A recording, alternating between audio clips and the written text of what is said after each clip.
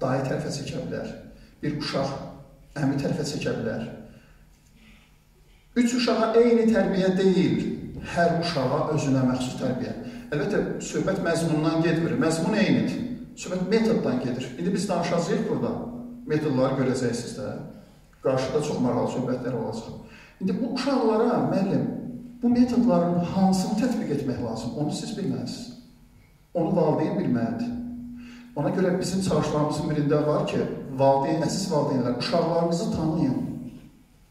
Uşaqlar mükafat sistemindən daha çox, mükafata daha çox cavab verir. Uşaqlar biraz cəza hissəsi daha qabarıq olmalıdır. Və s. və axır. Yəni, yekdil tərbiyə deyəndə, eyni tərbiyə deyəndə bu qeydi vurmaq istədim ki, söhbət məzmundan gedir. Məzmun olaraq eyni, amma metod olaraq təbii ki, hər uşağın öz dünyası var